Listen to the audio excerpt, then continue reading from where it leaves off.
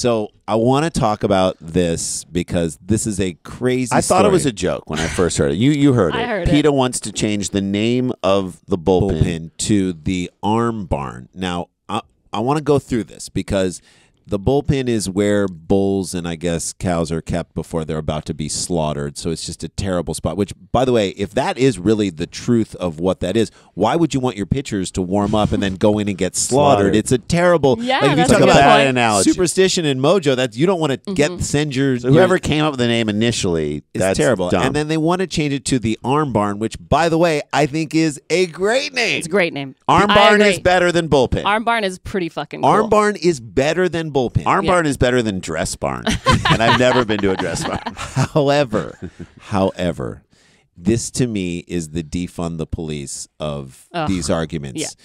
You're like, Defund the police.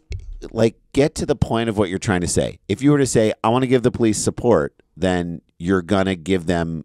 Then people are gonna get on board. if with you it. just said refund the police, yeah, Refu- terrible name. refund them in different way. That would change it. the The fact that this discussion is coming, so now this discussion is this ridiculous PETA discussion. Which, by the way, we're saying we agree, and who cares if they call it the arm barn versus versus the bullpen? And we think the arm barn is better. Look, but I I'm- think I think Arm Barn like I think we're a step away from calling it the Tostitos holding cell. You know what I mean? Like there there's so much, you know, I don't know if you listen to a radio broadcast of a baseball game. Oh, yeah. There is between much. every pitch there is an ad. the Cardinal Glennon Hospital arm barn. I mean, like you, whatever you call it, like the, every single thing, thing is has to be sponsored. sponsored. So just to call it something fine, the arm barn's a great name for it, but how you got there and the reason why you're taking it up as a social issue is now going to become part of the culture wars and it's the it's the argument that then says legitimate arguments about like hey maybe we shouldn't have this logo or maybe we shouldn't have this thing now all fall into the that's just like the bullpen thing.